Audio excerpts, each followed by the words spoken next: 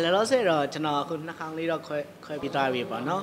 အဲစီတီကွန်လေးတော့အဲထည့်ပြီးသွားပြီပြီးလို့ရှိရင်တော့ကျွန်တော်သွားလေးညှိဖို့တော့ရှိရဲအဲပြီးလို့ရှိရင်အဲတခြားဒီချင်စော့မယ်ပေါ့နော်အဲခန္ဓာကိုယ်လေးနည်းနည်းပြန်ထိမ့်မယ်ပေါ့ဟုတ်ပြီးလို့ရှိရင်တော့အသားနည်းနည်းဖြူအောင်ပေါ့အသားဖြူစေလောက်ထိုးဖို့တော့စီစဉ်ထားပါတယ်ဟုတ်နားတယ်ပတ်စံကုန်နဲ့လှကျင်တယ်ဟုတ်အသုံးမျိုးလုံးပါပဲအဲအဓိကတော့ဘယ်လိုပြောရမလဲ ကန်တရားပေါ့နော်ဒါကိုယ်နဲ့တင့်တော်တယ်ကိုယ်နဲ့ကိုက်ညီမယ်ဆိုရင်တော့ခွဲစိတ်မှုကတော့အောင်မြင်သွားမှာပဲဒီနှာခေါင်းစီကွန်ထက်ကတော့အောင်မြင်သွားတယ်ပေါ့နော်ဒါအဲတူပထမခွဲနေကတော့ဘာမှမဖြစ်ဘူးနောက်နေ့ကျမျက်နှာတွေရောင်းလာတယ်မျက်နှာတွေ3-4ရက်လောက်တော့ရောင်းလာတယ်ရောင်းလာပြီးတော့အဲဝေဒနာတော့အရင်တော့မကိုက်ပါဘူးအကိုက်ခဲတော့မရှိဘူးဒါပေမဲ့အဲ့တော့တော်တော်တော့အဆင်ပြေပါတယ်ဟုတ်အာဝေတာ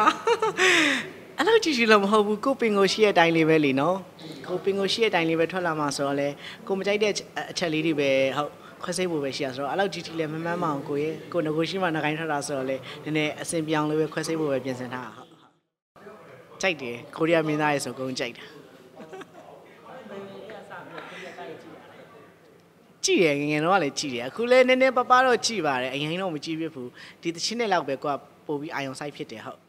အတူရရဖြူဖွေးနေရလေကိုရမဲထုံးနေအောင်စားကိုကလည်းစီနေရီလို့ကွာနေဘယ်လိုရှင်လို့ရမှာလဲအဲ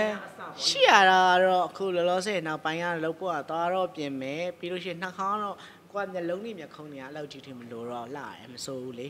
အဲနှာခမ်းကတော့သွားပြင်ပြီးရင်တော့နှာခမ်းပေါ့မှာအခြေအနေကြည့်ပြီးတော့လောက်ဖြစ်မယ်အခုကတော့ဟုတ်မကွာသွားပြင်ပြီးမှနှာခမ်းကိုအခြေအနေကြည့်ပြီးတော့လောက်ဖြစ်မယ်ပေါ့နော်အခုလောလောဆယ်တော့သွားပဲအရင်ဦးဆုံးတော့ပြင်ဆင်ထားပါလေဟုတ် မေယူချမေယူတော့ချကြည့်မလားလို့ပဲစဉ်းစားထားတာအဲလောက်တော့လောက်ကြည့်မယ်လောက်တော့လောက်ကြည့်ဖို့တော့ရှိပါတယ်ဟုတ်အဲရင်တော့ pressure တော့မများပါဘူး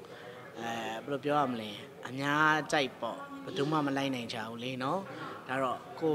ကြိုက်တဲ့သူလည်းရှိသလိုကိုမကြိုက်တဲ့သူလည်းရှိရယ် အဲဒါပေမဲ့ဟိုပေါ့ကိုပြင်ဆင်စရာနောက်ပြင်ဆင်ရမယ့်ဟာလေးတော့အတွေ့အကြုံတော့ရတာပေါ့နော်ဒီသချင်းလေးတွေမှာဆိုရှင်တဖြည်းဖြည်းချင်းပို့ပြီးအတွေ့အကြုံတွေပိုများလာလေပေါ့နော်အဲနောက်ပိုင်းတော့အကောင်းဆုံးဖြစ်အောင်တော့လုပ်သွားမယ်လို့တော့ရှိရယ်ပြီးရင်ဒီပြန်ဆိုတေးလည်းတိတ်ပြီးတော့ထွက်ဖို့လည်းအစီအစဉ်တော့တိတ်မရှိတော့ဘူးဒီအုံကျူလေးပဲထွက်ဖို့တော့များပါတယ်ဟုတ်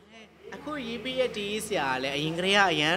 နာမည်ကြီးလာတဲ့တေးဆရာတယောက်လည်းဖြစ်နေပေါ့နော်ဒါသူအသက်အရွယ်ဆိုလို့ရှိရင်ဒါ60ကျော်နေပြီအဲ60ကျော်ရေးပြီးတဲ့ပေါ့နော်ဦးလေးရဲ့တချမ်းပေါ့နော်အဲတချွန်းဆိုရမယ်ဆိုတော့အဲအသက်ကလည်း60ကျော်ပြီအရင်တော့လည်းနာမည်ကြီးခဲ့တဲ့ဦးလေးတယောက်ရဲ့တချမ်းဆိုရမယ်ဆိုတော့ကို့အနေနဲ့ကတော့တော်တော်ကိုပီတိဖြစ်ပါတယ်ဟုတ်ဘာနဲ့မှတော့မလဲနိုင်ပါဘူးပြီးရင်သူရေးပြီးရဲ့စာသားရလည်းလုံးဝထိမိနေရပဲလေပြီးရင်ကိုတီးမဲ့တီးလုံးကလည်းလုံးဝမိုက်တယ်ဆိုတော့တချမ်းကတော့တော်တော်မိုက်ပါတယ်ဟုတ်ကိုထောက်မှာ အဓိကတော့ကိုယ့်ရဲ့ idea လေးနဲ့ကိုသွားလိုက်တာဆိုတော့ကြောက်လဲအဲဘယ်လိုပြောရမလဲအဲကိုယ့်အကြိုက်လေးပေါ့အဓိကလှုပ်ကြည့်လိုက်တာပေါ့နော်နောက်ပိုင်းကျတော့လည်းအရင်မျိုးကမကြိုက်ရင်တော့တိတ်ပြောမလို့ဖြစ်တော့ပါအောင်ဟုတ်လောဆယ်တော့အသေးခွင့်မဲ့ချင်းလေးတော့ဆိုဖို့တော့ရှိတယ်ဟုတ်အဲ့ဒါကြတော့ပိုအဆင်ပြေသွားမယ်ထင်တာပဲဟာဒါကိုဆိုင်မလာတာကိုချင်းနဲ့ကိုထွက်လာပါလားဆိုရယ်အတီလေးတော့ဝင်လာမယ်လို့တော့ထင်ပါတယ်ဟုတ်အဲ့လိုတော့မသိဘူးအာ Facebook page မှာတော့3သိန်းကျော်တော့ရှိပါတယ်ဟုတ် အခုထမဲ့တဲ့ချင်းလေးပေါ့နော်ပြည်သက်တွေကိုအကောင်းဆုံးပေါ့နော်ကောင်းသည်ဖြစ်စေမကောင်းသည်ဖြစ်စေအကောင်းမြင်လေးနဲ့ပဲအားပေးကြပါအောင်လို့ကိုဆိုင်အနေနဲ့တော့ပြောချင်တယ်ဟုတ်